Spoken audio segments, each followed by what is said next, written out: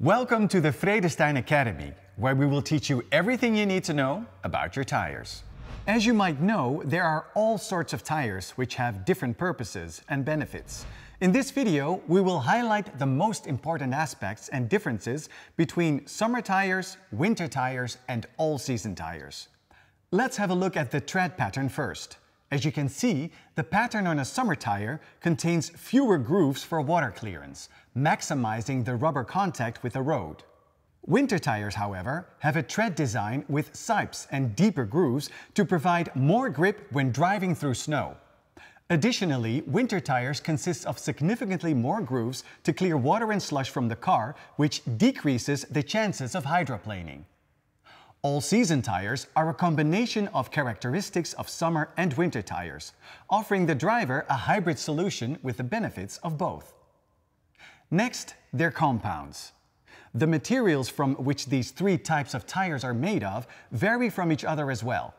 Summer tires are made of a rubber compound that offers the driver more grip and handling on dry and wet roads in warm circumstances.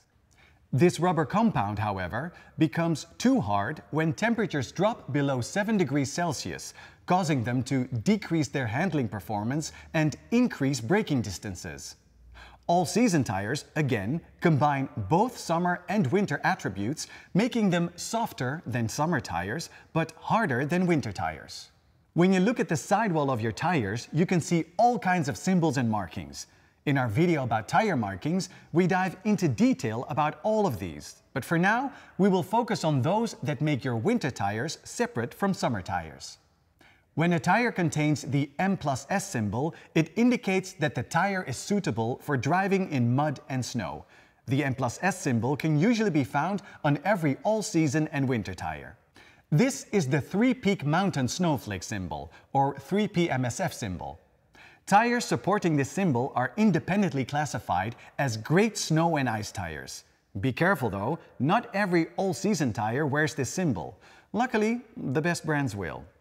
Additionally, all-season tires often have four symbols on them, representing the four seasons of the year. Now, does that mean that all-season tires are always ideal? This is partially a personal choice, mainly based on your driving. If you are a comfort-oriented driver, then all-season tires are your friends. Finally, if you are living in a region with rapid changing climates and mild winters, the all-season tire will be your best option. It will also save time, money and effort required for seasonal tire changes. Thank you for watching.